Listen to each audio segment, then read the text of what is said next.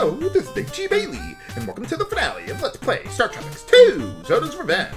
Last time, when I was in this room here, I thought I had to take a whole bunch of damage to get the items in the middle there, but as one of you pointed out to me, haha, yeah, you can just jump diagonally like that in order to get in here.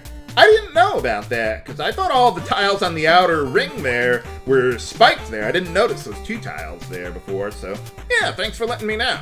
But now, let's get back to where we left off here to finally confront Zoda Z himself. For final boss time! Now, in the first phase here, we've got all these Zoda spawnlings around here. One of them is real, the others are not. You can't damage them, they'll just sit there and block your shots. So what I like to do is try to get in as close proximity to the real one as possible, and that way the others won't be able to block me, but I might take some more damage if I do that. So it is a little risky there. But now the rest of them unite to form Phase 2 of Zoda Z. And you saw that first shot, he, yeah, that one. Uh, that one will turn you into a boar. You won't be able to attack Zoda at all. All you can do is move around and dodge and wait for it to wear off eventually. I like how they incorporate that into the gameplay mechanics, though. It's not just a storyline thing for the villagers for some reason. Well, now, when he does shoot that at you, I like to jump vertically or horizontally, because if I jump diagonally back at him, I'll jump over the first one in the middle there and then hit the one in the back. And the reason why I'm shooting him diagonally a lot more than horizontally is because if you shoot horizontally with all these projectiles on screen there, you'll hit the sprite limit and some of your shots won't even go through at all. You won't hit them. So don't do that. Just go diagonally and you'll be good. Okay, we got him pinned in the corner there. Come on. Yes! Gotcha! Alright. Phase 2 down, now it's time for Phase 3. For real final boss time! Now this one starts out with the same attacks as before, but he does have a lot of more tricks here. So, whoa, get away from me, man. Get away from me. Whoa, he's got lightning grenades. Holy cow. Let's see what we can do with that, though.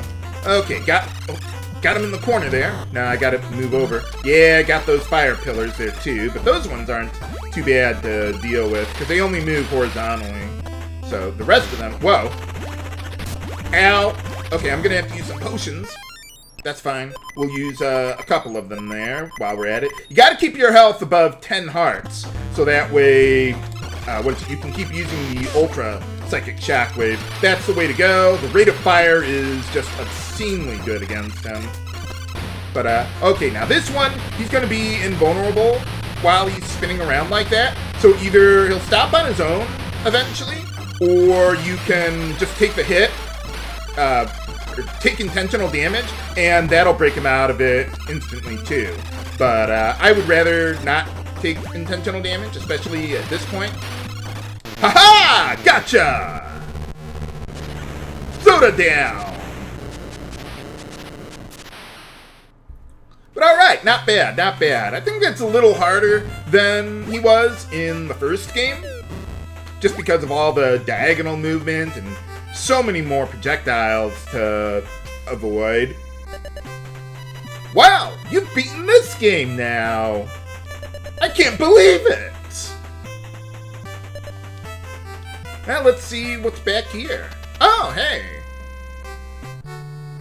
How's it going? Aww. Yeah, what's going on here? Oh, well, they got all turned to boars, but on the bright side, we have bacon now. I definitely smell a pork product of some kind. Or we could just follow after her. Why not? Yeah! Happy music! What do you mean? I didn't save you. You were doing just fine there. Oh, yeah, so I did. Sure, I could have stayed in the past.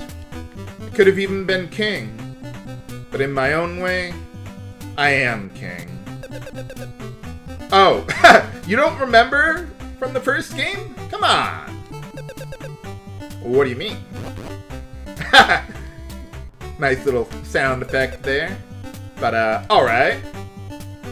Too bad we can't go to the observatory, or laboratory, or whatever that place was.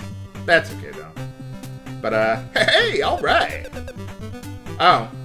Well, I prefer my meat well done. I, I don't know, call me crazy, but I'd rather not die from what I'm trying to eat.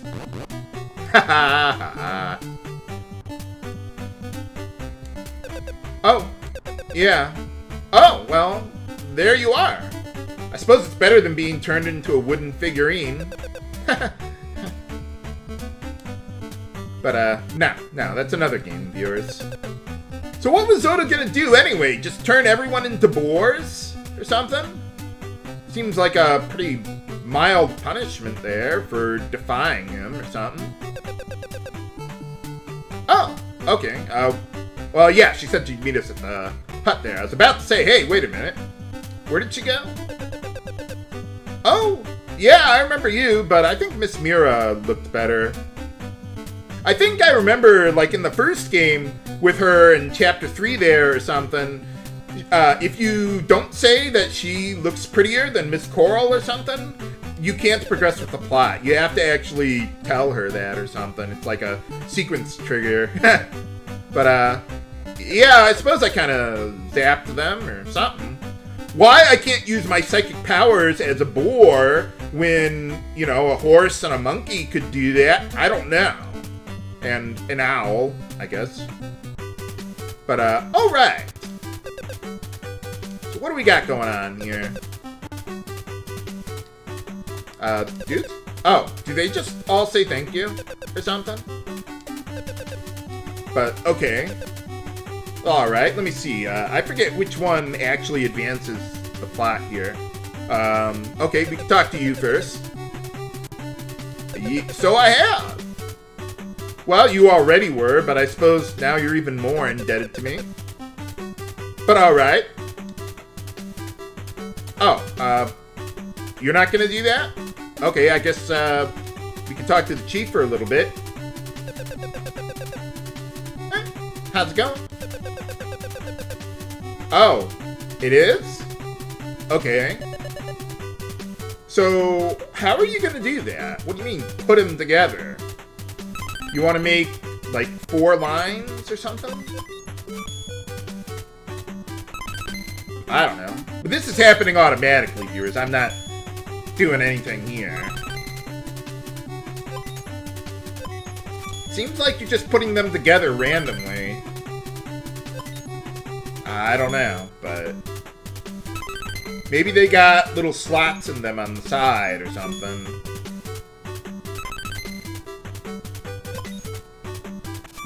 Uh, you're not doing a very good job of making a Tetris, dude. You gotta get four lines. Oh, well, at least it looks symmetrical now. What? Whoa! What the? What's going on? Oh, uh, hey, alright. I would say that kind of came out of nowhere, but they did have that ability with the magic cubes in the first game, so I guess that works. Hooray! You saved yourself at the cost of your entire civilization. Or most of your entire civilization. Congrats! Oh, yeah, well, that's what, uh, that's what the others did, yeah. But alright. Oh, what about Zoda? I mean, it's just him. What about, you know, huh? Oh, uh, yeah, sure, why not? Think about me twice if you like. Oh, uh, you're welcome? Could I get a reward? Where are you gonna go? Oh, you just teleporting that's it?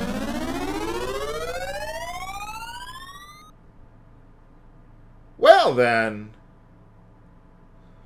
Yeah, nice little animation there with the cutscene. That is one thing I really like about this game, so let's take a look back at our adventure and review the game.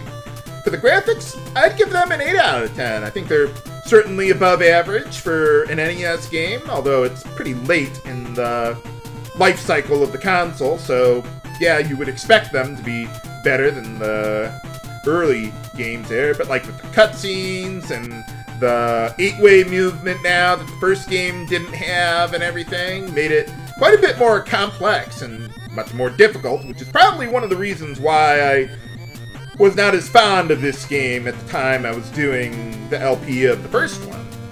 For the music, I'd give it a 9 out of 10. Nice, uh, uh, what is it? Yeah, just happy music and, uh, what is it? Catchy tunes, just like any Zelda game or anything like that. Some, some get you pretty pumped up and everything. So, yeah, I'd consider it comparable to the Zelda games of the era. Nothing too extraordinary, but still good enough. Let's see, for the plot, I'd give it a 7 out of 10. Pretty uh, standard fare for an NES game. Not a whole lot going on, but, well, more than, I suppose, an average NES game would have had there and everything. Villain involvement stuff. You didn't see a whole lot of that back then. And for the gameplay mechanics, I'd give it an 8 out of 10. I like how they give you more than one of the different weapon types, the regular ones you have all the time, but they still made them pretty useful overall. Even the sub-weapons were all, well, almost all of them were pretty useful there. They did that in both of the games, and I really like how they handled that beyond just one enemy being weak to one or not another. So overall, I'd give this game an 8 out of 10. Definitely above average action platformer game. And, well, that's the end of the series. They, uh, yeah, I guess they just decided not to keep on doing anymore with this for some reason. So I hope you've enjoyed Let's Play StarTropics 2 Zoda's Revenge. A lot more fun making it than I thought it would be, and, well, now I'll get ready to get my next project going. This is H.C. Bailly, signing off. And see you next Let's Play.